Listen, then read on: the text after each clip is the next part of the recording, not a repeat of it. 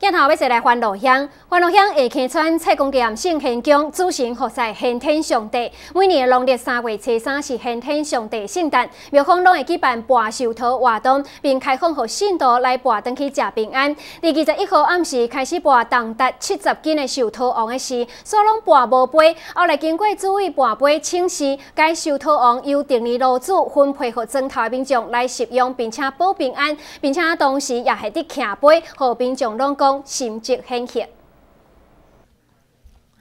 欢乐乡下溪村蔡公店圣贤宫主神先天上帝，是伫清朝当地年间，随着单家祖先单位自大陆福建渡海来台开垦，伫民国二十六年时开始显现神迹地边。民国五十年时就开始更大桥帮砖头处理代志。值得提起的是，伫民国六十二年时，当机张良义，伫香港失病的张良义，伫起港了后，便香港和平，也被流传至今。民国七十四年时，有感先天上帝成为显赫，信徒集资兴建庙宇。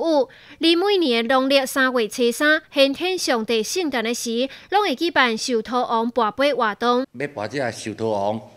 哦，啊啊，请示，啊，拢拢拜无杯啦。要跋即条寿桃王的人，拢拢跋无杯，拢拢无杯啦吼。结果啊，真是有个时，伊讲即条寿桃王无要用跋，吼，无要互人，要第二年的，吼，路路主互咧处理落去分配，吼，分配互咱咱庄内信众，吼，大家食平安。因为咱先天上帝来讲是真灵感的，所以讲伊要